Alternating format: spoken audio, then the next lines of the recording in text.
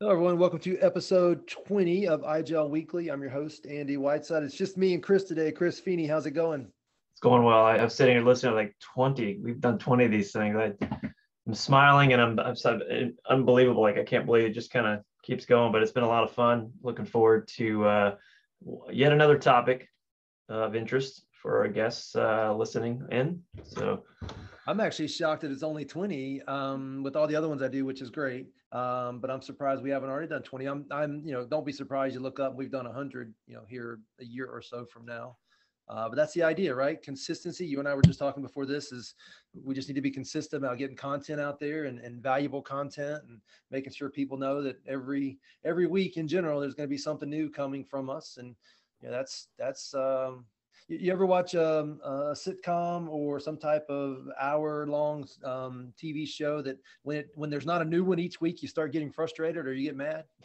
Yeah, I uh, I could say the same for a few shows right now. That if I miss it, I'm going to Amazon to watch it, uh, and then I'm sitting there waiting for like, wait, is that the end of the season? What's going on? So, what, what are you watching right now? So I've kind of latched on to uh, CBS has some great shows. SEAL Team, uh, Magnum. Uh, we were taking a trip, uh, a long overdue. Couldn't take it last year for obvious reasons. Uh, trip to, for celebrate my daughter's graduation, everything, and so we're, we're heading out to the island.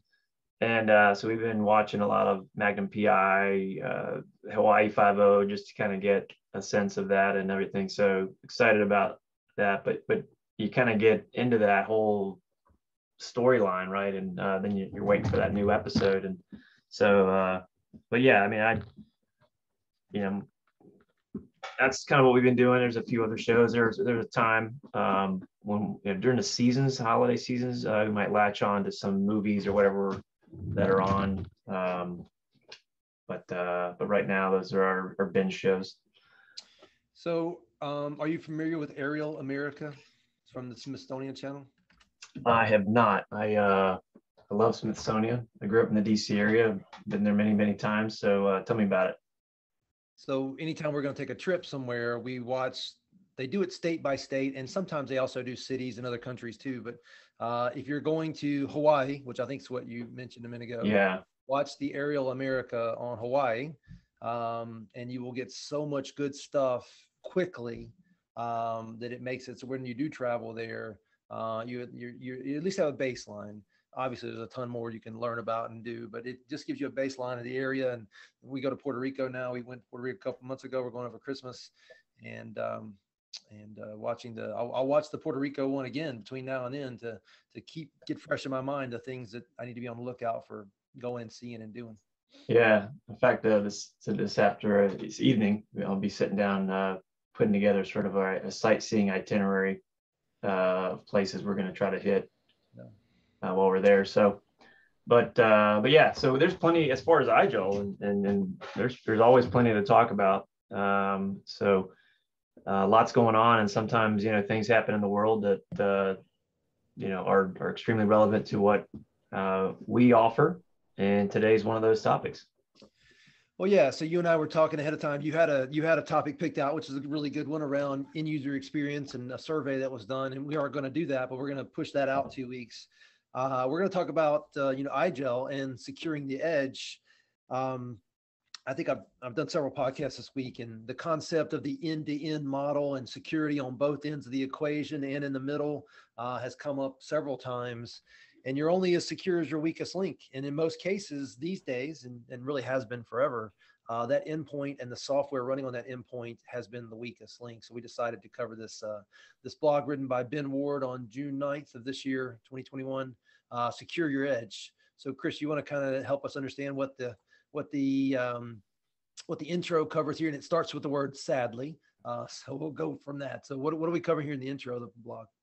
Yeah, so it's it's um relevant topic. Obviously, you know, uh, is interesting, right? If you, take, if you take the most recent ransomware attack, uh, the one on the Colonial Pipeline, and that wasn't the most recent one. There's actually been more, um, but it came to light that it was uh, uh, compromised user credentials, right? So in this day and age of, you know, multi-factor auth, I mean, ways to kind of prevent that. Uh, sadly, those common things that have been uh, you know used before many many times over not just that but just you know clicks links things that you can audit but compromised credentials um, uh, in this particular case led to that particular ransomware attack uh, certainly proliferation of it. Um, and so uh, you would think it would be more widely you know demanded at this point you know i mean i honestly i prefer and appreciate you know the the banking the uh, amazon you know just using that uh, before i log in. I know it's me. I know it's this machine i've used before but i'm okay with you sending me a, a, a code that i could type in just to make sure right i'd rather i'll take that security it's not that terrible from a convenience factor but it's uh, once again you know uh, it's it's on the forefront and so that's kind of what we're going to be talking about today well, Chris, I would I would argue that that's not what we're talking right about, right? That the idea of multi-factor and single sign-on, um, all working together and, and trust but verify that that's true. But I really think what we're talking about with this ransomware stuff is the fact that the end user has a really powerful tool in their hand that even after they've authenticated appropriately, if it's been somewhere else before, it can now have stuff resonant on it that can then do what it needs to do after the user's already authenticated appropriately. Would you, would you agree that that's really where the ransomware stuff is happening at the edge these days? Yeah, certainly. Um, and uh, how it gets onto the device certainly can be a variety of factors, but once it's there and you're in. It, it's almost I like mean, the bad guys are trusting that you're going to get this stuff and it's going to lay there and sleep or rest. And then when you get to where you need to get to after the appropriate authentication, then it's going to jump into action yeah, just start hunting and gathering, if you will. And, and the sophistication of these things is obviously quite amazing. I mean, I'm not, I haven't been in that, you know, side of the security business before. Some of the vendors out there have some pretty amazing products, but the, the, the information that they can see with with the code and what it does, it might sit dormant for a while before whatever. I mean, just it's pretty amazing. So so you, I, I find something else interesting. You just said you, you just talked about not necessarily being in the security business, but I know you've been at Improvada. I know you're working for iGel now, which is a read-only Linux operating system with multiple layers that can be managed um, from a central location. I, I would argue you've always been in the security business. It was just part of the products that you were selling.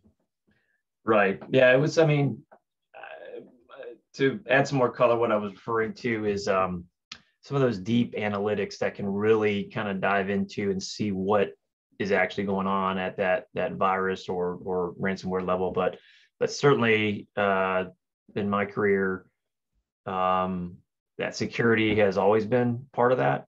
Uh, from the days when I got my CISSP years ago um, and started doing security assessments and you know earliest part of my career I, I worked for a defense contractor and uh, you know, in this is really before IT began to, you know, proliferate in terms of, you know, LAN, WAN, uh, you know, ex- expansion, internet access type thing. Uh, that began to emerge. And so a lot of my security focus went from the physical uh, world, uh, access control, uh, protecting classified documents that were, you know, in safes and that type of thing, to now what about IT? How do we protect that? And now I got to learn how to secure IT if IT is going to be used for processing classified information. And, and, definitely had to deal with some situations where, you know, the room was closed, the little sign was up, the classified processing was occurring. But when I walked in and I saw an unclassified drive in the drive in the in the computer with the classified drive, I was like, oh crap. yeah. And then I had to go report that. So that wasn't fun. But uh anyways, uh yeah, it's uh come a long way. That actually kind of drove me towards uh, being in IT and security uh, from that experience. Yeah, I, I, think it's interesting that we were going to talk about user experience. Now we're talking about security. And the truth is, it's our job to make the best user experience while providing the appropriate level of security for the scenario or maybe even overly secured. I think those two topics really do blend together in, uh, and, and actually answers what you just said that's why I got into IT is to give users what they need to do their job while understanding that the security element has to be there and justified and articulated uh, and blended in to that user experience uh, that we're trying to provide. Yeah. And, so, you know, yeah, go ahead. Sorry. Well, I was going to jump us in back to the article, but go ahead. You were going to make a point. I was going to go back to the article too. so. Well, so ransomware, right? Ransomware is so okay. So you go back to I don't know 2001 time frame. I remember working with one of my networking guys, and we put a uh, Microsoft IIS server unpatched on the internet uh, to test and see how long it would take for somebody to find it and exploit it doing port scans and things and that's that's the old way of doing security but then firewalls really got uh, firewalls and dmzs and multi-layer dmzs got put into place and all of a sudden those attacks started to diminish and uh, the guys got smarter the, they, they realized that hey if you just put little traps out here users will go out they'll install something. They all have uh, admin rights more than likely uh, on their windows based boxes. They'll go out they'll install this stuff and we can just wait and let that stuff phone home and that that's led to the rise of no longer looking for you know trying to inconvenience us and cause problems for us. They figured out a way to use you know the security vulnerabilities to make money you want to talk through what's happened here with the, the rise of ransomware and, and, and the enablement that things like Bitcoin have enabled it so that you know there's no tr- money trail anymore. That's that to me, and it hit me a couple days ago. That's the real enabler of this is the ability to actually make money through this untraceable system. Um, you know, had it not been for that happening over the last five years, a lot of this wouldn't wouldn't be happening. Yeah, well, certainly you think about uh, these these different trends in the market that have begun to sort of converge to the point where we are now where you know they they can leverage these these systems like a bitcoin. Um, but you know what's uh, what's what's what's really going on here right? I mean we know that you know access to information whatever it is is, is obviously very valuable but you know it used to be let's just bring the company down or whatever and but now somebody's like you know the, the, we can make some money off of this. And so um, you know, how does that happen, right? I mean, it, it's still, I think you're still dealing with end users. People can get tricked, whatever, and it might be they open that link or that whatever. I mean, there's all kinds of ways things that happen. But the long and short is let's lock your system, make it such you can't read it without special uh, key to uncover it, and um, and uh, and then you know we'll give that to you after you send some money, usually millions involved, uh, and then uh, you'll be able to do that. But is it really truly clean after that? You know, uh, that's that's the other piece of this, right? Are, are you 100% sure that once you get that key to recover it, that it's actually really safe now, or are you know? know? Yeah, you don't know you can't know and it's to their benefit to just keep milking you over and and so it's not if it's when and if it's not just when it's how many times or how mm-hmm. how, how long will go on it's it's insane and the idea that the uh, you know the cryptocurrency has enabled them to get paid doing this is just a huge huge enabler of what a what a world huge enabler and a great example of what a world economy is going to look like there's a lot more bad guys to work with now that are doing what they need to do to survive, make a living, exploit us. Yeah, and it seems like they're very much targeting. Uh, it could be just you know low hanging fruit targets that are oh that one's just wide open. Let's go ahead and get it. But but it, it's it's very much now focused on let's take down these key infrastructure things or you know and we know hospitals have been targeted quite a bit certainly something like with that pipeline that occurred, the uh, impact that happened up and down the East Coast certainly makes you wonder, like, wow, you know, I mean, what about the electric grid? Uh, I, I, think I mentioned, uh, if I didn't earlier uh, on, a, on, one of our podcasts just the other two weeks ago, I'm sitting here working, finished up my first meeting in the morning, and all of a sudden I hear this boom, and uh, then the uh, crash, and the power goes out and I'm like, what the happened? There was no storm or anything. And, and it was a, what I can tell, a Pepsi truck had just done a delivery and turned down the road and the, the trailer had hit a power line and caused this thing to come down. And, yeah. you know, I'm working from Panera the rest of the day. so things like that just make you realize like, oh, what would it take to just completely take us out to the point where how, how can we be productive? So Um, my I've never experienced in terms of personal the ransomware, but I did have one of those scenarios where, you know, went to one of those uh, kickoff meetings. Corporate IT said we're going to put some. Uh, we're going to can I ask you a question real quick? Yeah. You you know for a fact you've never had ransomware on a machine. I have personally not dealt with ransomware myself. Not that other customers of mine or whatever haven't, but I myself personally no. But but you ne- so what you're really saying is you've never been exploited, but you don't know for a fact that True. you've never had some type of code waiting to do it. It just never executed. And and the thing that people don't realize is there's millions and millions and millions of machines out there exploited today that haven't been told to wake up and go do something yet. Yeah, as best I can tell, that's correct. Uh, my my one experience where I would say it's somewhat like it was uh, I said we, I took my laptop, the corporate IT uh, turned on some new security stuff, whatever encryption, um, and uh, and then one day my laptop had an update, rebooted, and my I think it was the BitLocker key, whatever it was, uh, wasn't working, and I couldn't get back into my system, and I had uh, stuff on there that I had not yet put into the cloud, if you will, in some cases. Ended up losing years of archived emails that I would often search for and, and just lost them all, you know, probably five, six, seven years worth of stuff.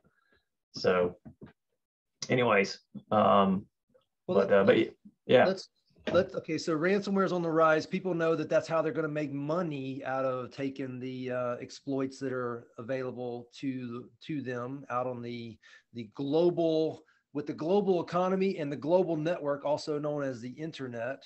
That's that's how money's going to be made. And and you don't the the idea that um, you know there used to be geographical proximity uh, and, and lack of proximity was a safeguard. That is no longer the case, right? Somebody in somebody in any part of the world on the global network, aka the internet, can touch me whenever they need to in a matter of uh, milliseconds. That's totally changed the, the the game, and now the ransomware has become like it used to be. Um, you know, you had to go kidnap someone and take them to the ATM machine to get their money. Uh, now you just take control of their computer and then eventually their system that they're on uh, and now you have access to more nodes and more opportunity to encrypt stuff and more money like real real money let's let's jump into the section that talks about decreasing the uh, the presence at the edge and what we're really talking about here uh, in the blog yeah, kind of going back to that that last statement there. Um, you know, being so interconnected, uh, you know, attacking a you know vulnerable, even though their security has you know certainly tightened up on Windows OSs, um, there's still plenty of attack surface there, and you know so these actors are going after uh, that that that vulnerability, or uh, or in many cases that that end user susceptibility, you know, to uh, do something, click on something, whatever it might be, to get that endpoint OS chris before you go there tell me Mhm. what the edge is what what is the edge The edge would be, um, you know, that's the first thing the user is going to uh, access to get to their data. Uh, so for us, IGEL defines that as the edge operating system. Um, that could be Windows, could be Apple, could be Android. In our case, IGEL Linux OS. Can can I in terms of network though, the edge is anything that's not necessarily in the core of the internet, you know, the primary routing and switching going on. So is is your phone on the edge of the internet? Uh, technically, I would say yes. Is your is your PC or Mac on the edge? Yes. Is and I'm making an assumption here, but is your smart refrigerator on the edge? Um, potentially yes. Yeah, anything that's not at the core of the internet is on the edge. My point in that is there's a heck of a lot of stuff on the edge. And, and I would even consider XenTegra's data center not the edge, but one of the edges because it's not at the core of the internet. There's so much edge to protect here. We've got to get really smart going forward. Yeah, just last night our TV we turned it on. It was like just got an update. I'll install it after you reboot or turn it off or whatever.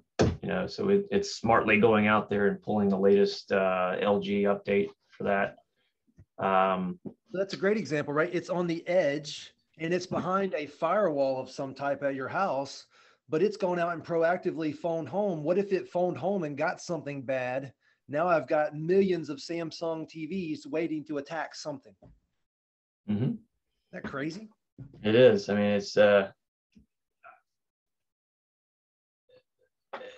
it's it, it is. I mean, it's just, I don't even word the words to think about. It. I mean, it's just the fact that you know it's not just corporate people that have to deal with this, but home personal stuff, right? I mean, when will we see the you know proliferation of the end user at home dealing with ransomware on his home network, right? Not corporate stuff. Just I can't, you know, whatever. So can you imagine me calling up my 75 year old mother-in-law and asking her if her uh, Samsung TV is up to date? Is she prepared for some type of outbreak? And, and what's the latest antivirus definition on her TV? Yeah, I, I think about, I was thinking about where you're talking about that. I was thinking about my, uh, my mother-in-law and, uh, you know, I got her uh, a new laptop at Costco. I think it was uh, sometime late last year and uh, went just for ease of use, went with a Google Chromebook. And she had uh, some email or something like that, I guess a few months ago, where um, somebody was saying your machine's been compromised, whatever. And she was on the phone with somebody. Yeah. And she called me. She says, "Is this legit?" And I said, "No, no. Reboot your machine. You're going to be fine. It's a Chromebook. It's it's you know." And so she hung up the phone. I said, "Don't give him any information." Yeah. And uh, she rebooted, and everything was fine. But I mean, she was literally that close to, you know, but thankfully she uh, reached out and confirmed. Do you have uh, do you have anybody else in your per- personal life that runs a Windows-based computer that's connected to the internet? Yeah, both my kids plus my wife. Um, they all have Windows 10 laptops. Do they? Have, Let me ask the, the the big question: Do they all have administrator rights on those machines? I can neither confirm nor deny. let's, let's assume you said yes. So you've got all these devices that were built to get work done. And, and in most cases, like in my house, everybody gets their admin rights removed. At least they used to anyway. Uh, now I'm just trusting that, yeah, I'm going to give you the right to install stuff. And uh, I'm going to trust that the Windows uh, operating system and the antivirus that I have will catch anything bad you try to install uh, that's insane to think that we give people that much power to do things where they can load anything from any website. We had a session yesterday, podcast on MSIs and MSIXs and all the different ways you get applications installed on Windows. It's extremely powerful, but along with that power comes a lot of opportunity to be exploited. Yeah, no doubt. I think um, at least for the last year and a half, my daughter was in high school. I actually had her running off of uh, a Linux OS instead and just accessing Office and, and whatever websites that she did. So she, that's how she worked. Um, and when she got to college, they, you know, got her got a new laptop and everything like that. But uh, but definitely made sure that before she went off to school, that thing at least had all the updates and had security, you know, and then and was at least somewhat locked down as much as possible. But you never know my high school kids all run Macs, and I get a call maybe three or four times a year where they're trying to do something at school with uh, the local IT guy at the school, and they need the admin password because I locked them all down. Uh, it's inconvenient, and there have been a couple of times where it caused challenging situations, but I just can't give them the green light to install whatever they want. Now they're going off to college this year; they'll they'll have their own yeah. computers and they'll have their own rights, and um, I'm going to wish them luck. You know, it, it's uh, I thought of it just as we were talking. Um, I uh, I have toyed with the idea of giving them that backup option, which is a UD Pocket, just in case, and uh, and probably will here as my daughter heads back to school in August, and my son, you know, just say if something happens, here's your backup, plug it in, and it's already set up. Just log into whatever you can get your work done. Uh, so, uh, you know, coincidentally, the article kind of moves us in that direction. What, what, what do you think? I mean, it what does. a natural transition. so we've talked about the edge and uh, real one thing, one thing to highlight real quick is uh, what enabled what you just said is the fact that, you know, your operating system now includes a, uh, a variant of Chrome called Chromium or really the, the engine of Chrome. Uh, and I bet, I bet in a lot of cases with the, with the online world of SaaS applications and maybe VDI in your case, um, that becomes a huge enabler. You know, I guess I'll go back to the the uh, edge piece real quick and just talk about the fact that you know the SaaS applications, the, the code for that, as well as VDI implementations, those are also on the edge, but they're closer to the core of what we're talking about here, and they're the responsibility of other organizations to have up to date and working, uh, not the end user's responsibility. But it all counts as edge. Uh, and there's a lot of trust, and really the term zero trust kicks in at some point. Uh, zero trust, uh, but yeah, there is trust involved in making sure those things are are up to date and properly running and secured. But that's not your responsibility as an end user. That's that that's on corporate IT or whoever the retailer is that's providing that that as a service something. Yeah, in fact, uh, just um, last Friday, I uh, was meeting with one of our uh, my, one of my colleagues, uh, counterpart over in EMEA, and was looking at what he had set up in Azure, and he had leveraged Microsoft's automate autom- like he's got a, a, window of time where he does all his updates. He, he fires these VMs up on a Saturday morning, lets Microsoft run through its update code, whatever, and then automatically shuts them down after whatever time. And he's got this whole process and and uh, you know, and, and really kind of it's it's on Microsoft, you know, at that point once you enable that to keep these things updated? And um, it's lowered his time and effort to kind of do this manually. And uh, and we were kind of talking through that and, and the time savings and stuff like that. But he's leveraged that particular capability which i thought was really nice. So well, hey, before we go into iGel, let's let's address the thing you mentioned a while ago around the Chrome operating system. That anything other than when, and, and I'm not knocking Microsoft, they've got an amazing stack of the operating system for the endpoint, aka Windows 10. Uh, and it has been enabled for decades now to do powerful things. But with that power comes all the things that we're talking about here around the ability to exploit that power. Um, there's options. There's Mac. There's Linux. Um, both less attackable and well maybe less attacked um, because the you know the attack vector is smaller. There's less you can do with it. There's things like the Chrome operating system, which is even less less of an attack vector, but still attackable. Uh, and then there's iGel, and iGel is, you know, like the article says here, purpose built for the edge to be managed with a good user experience um, and secure. And that's secure by, I'll call it luck for the moment. And, and the luck means there's just not that many people trying to exploit a read only version of Linux that's really only used in the enterprise because they're, you know, chances are it's uh, not going to be out there just surfing the random internet that often.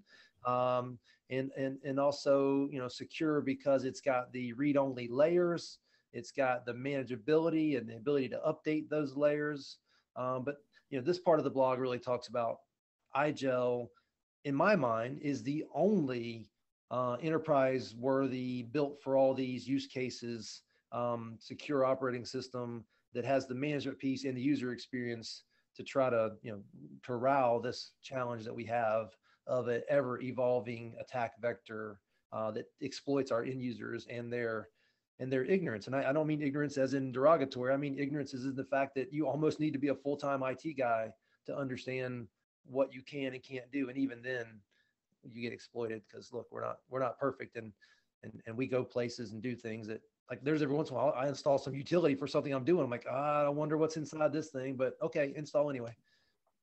Yeah, no doubt. I mean, I'm just looking through this. I mean, really, I mean, our our mantra is is really, I mean, you don't need a lot of information down at the endpoint level. There's nothing locally accessible as far as data goes. Uh, and, and, and you know, while we have capability of adding applications, you know, that might be able to store something locally or whatever like that, that's we're not really in the business of trying to be just like a Windows OS at the edge. You know, we we are you know pointing you. We're that that uh, we've talked about it before. Um, let's imagine you know what you're going to get to is in the amusement park. We're the uh, we're the shuttle to get you there to the front gate, and then from there you can kind of go wherever you go. Maybe it's the old uh, legacy stuff that you're still accessing, or the new shiny new thing that just came out with the cloud, whatever. But but iGel's that that shuttle to get you there, and that's really it. We're we're very much focused on, you know, having that low attack vector uh, right out of the gate, and um, uh, and not just that, but you know, we haven't really touched on it, but just the whole boot process when you are booting up into an OS, we've got this whole chain of trust. Uh, it's a great diagram. If you haven't seen it before, it's certainly on our website. Uh, it's not part of this article, but we can certainly point you in that direction. But you know, um, on, on some of our iGel devices, the UD3, UD7, for example, with AMD chipset, you know, doing a, a security check there before it gets to uh, the boot layers and ultimately the checking the partitions and making sure that all along the way, ultimately when, when you uh, get to that VDI DaaS session or whatever it is, you know, there's a security check. And if something gets messed up along the way, then it knows like right, we, we've been, something's wrong, right? And um, the other thing too is we haven't really talked too much about it, but when you're updating iGel, we come out with updates, firmware, we have a, um, a really fail-safe update process. You know your your current version remains there while the new version is getting installed and then uh, on the reboot is when it executes and, and takes over. But if something happens in that and some of those out there listening may have situate had situations where it reboots and then on the reboot it's it's still updating partitions or whatever you know igel's smart enough to know that it it will go back to whatever version was still intact before it, it executes on the new one so there's a whole very smart process there for updating uh, the devices and making sure that that isn't compromised uh, as part of uh, running the iGel OS. So. Yeah. well, you mentioned that uh, chain of trust document. I'm going to put it on the list for to cover, you know, a few weeks out because that's um, for, for some of our users that's going to be really exciting, and for some of it, it won't be. Uh, however, it's something we probably need to cover so that people have a way to consume that content. Yeah. Well, I can say this. I, I'm on a internal security questionnaire. I get I, I'm not responding to these, but I see when somebody has uh, customers that are asking these typical security FAQs, kind of part of the whole like you know, we have a common set of frequently asked questions around security. So uh, there's stuff that we can completely share, and there's other stuff that would be under NDA, but we can certainly talk about the um, the, the non NDA stuff your public facing documents. So I'm sure we can cover all Absolutely. That. Yeah, there's plenty to talk about. So so Chris, let's kind of wrap it up like this. How many viruses are you aware of? Aware of is a key phrase that have been um, used against the iGel operating system. Just just give me your answer as succinctly as you can. Uh, since I've been here in the last three years, zero. In your entire knowledge of iGel, how many times has a virus outbreak happened? Zero. Zero. Now, as succinctly as possible, and this is what I want to leave our listeners with. Give me one, two, three, four reasons why. Um, well, starting, I guess, with the number one, um, from the, you know, uh, number one, like I said, read-only OS, uh, less ports. There's only, you know, when you fire this thing up. Can I put yeah, one in front of that one? I'm sorry, say it. Can I put one in front of that one? Yeah.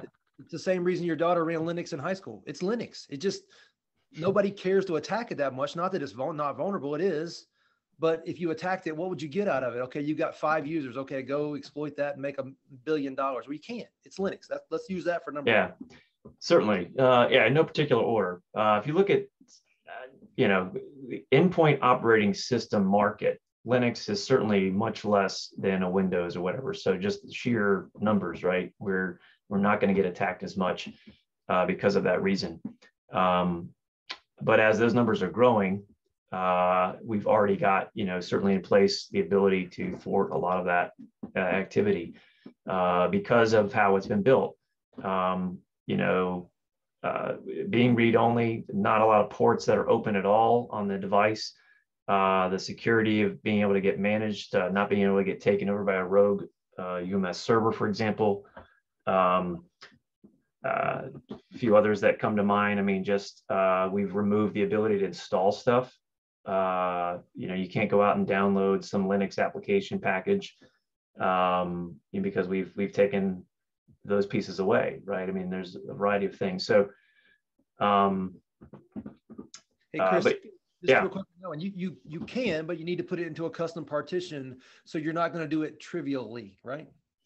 Yeah, what I'm referring to is uh, let's just you know take iGel out of the box, uh, and, and, you fire up a command line, right? You know, uh, apt update get. You know, we all that stuff that you would normally go through at the command level is gone. That that doesn't exist. We've removed that capability. Uh, the only way you could add third-party type apps would be that custom partition piece. So, okay.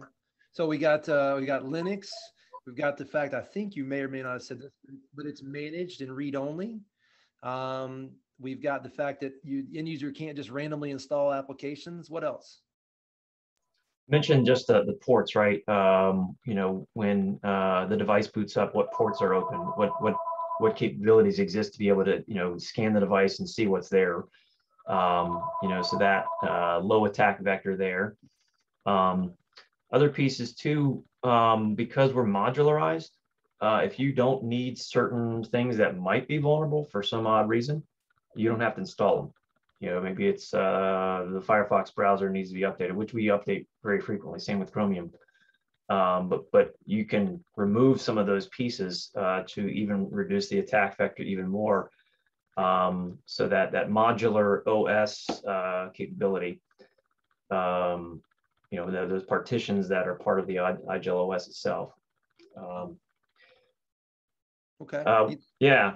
Anything else? That's a ton. That's a ton. That's yeah, that's just to start off the top of my head. We've got a whole like list of things that um that we'll if we want to we can dive into that on a, on a future one sort of those the top 10 security things or whatever i know we've got uh, some stuff out there we kind of referred to earlier I, but i think the simplest way to say it is and i am a microsoft fan but you cannot secure windows there's just too much there to secure and when you close one door one hole, another hole opens. Right. Certainly, I think to productive usage, right? I mean, um, Windows is built for applications to be installed in a lot of cases directly on the OS. Uh, to be productive, a lot of those apps these days need to talk to the cloud. You know, so um, we're arguing that it doesn't necessarily have to be on the endpoint you know, in today's world. So, so here's my my best example. Like I had this conversation with a security person, and I'll tell them, okay, look out the window, look at the car out there, and I'll grab their laptop and pretend to walk out of the room. And the response there is, well, it's encrypted, which a lot of times it's not. But the fact that there is resonant stuff on the endpoint, and I can pick that endpoint, take it away, and then spend five years trying to crack into it let's just avoid that altogether and let's make nothing on the endpoint, but let's still make it a consumable solution and just nothing ever leaves the data center. My favorite example of that is WikiLeaks. You know, had Edward Snowden only been using a remoting protocol from a secure endpoint, he would, and we turned off file transfer across the protocol, he would have had to taken a screen print of every page of those 10,000 documents that he stole. I can't think of a better example of just that's not even ransomware. That's just an end user being um, malicious. Mm-hmm. Yeah, no doubt. I was thinking too. I mean, just other scenarios where not having Windows on the endpoint just you know rapidly gives you a capability to deal with something, right? Um, one of the use cases dealing with um, uh, disasters, natural disasters. Uh, uh, you know, local law enforcement, public safety officials, you know, being able to, if they're leveraging a, a, the, cl- the cloud, SaaS, whatever, being able to take laptops that might be in storage until they need them, pull them out, and just boot up to iGel or the UD Pocket. Uh, if it needs an update, whatever, then you know, within literally just a short amount of time, assuming internet coverage, satellite, whatever, uh, you can be in a productive state dealing with uh, really what you've been trained to do, and that's deal with those disaster situations, right? Whether it's a tornado or hurricane or, or whatever, fire, something. Um, but uh, but having a uh, a robust, made for the cloud workspace Edge OS uh, certainly uh, will help you. Um, anyway, so great great uh, article. Uh, check it out on our blog site, and we'll we'll definitely talk some more on more security stuff in future episodes. Yeah. Great. Thanks, Chris. I appreciate you joining, and uh, I think we could talk about this topic almost every week. We'll we'll find other things to talk about. I think we may have talked about security a lot lately. But, yeah. You know, getting users to do their job efficiently and being secure and protecting them from themselves. It's kind of like uh, you know, it's kind of like uh, getting into a nightclub or something. You don't want people to stand in line, but at the same time, you don't want so many people in that you create a fire hazard and cause an issue where something really bad could happen. Yeah, no doubt. So you make them stand in line outside on the edge. that may have been a stretch, but I thought I'd try it anyway. Yeah. Unless you're Andy, you get a VIP pass. uh, not most of the time, but occasionally, occasionally. All right, Chris, thanks a lot. Enjoy the rest of your week, and I appreciate you joining us. We'll uh, we'll do it again, I think, next week with Seb Community Podcast. Sounds great. Thanks, man. Thank you.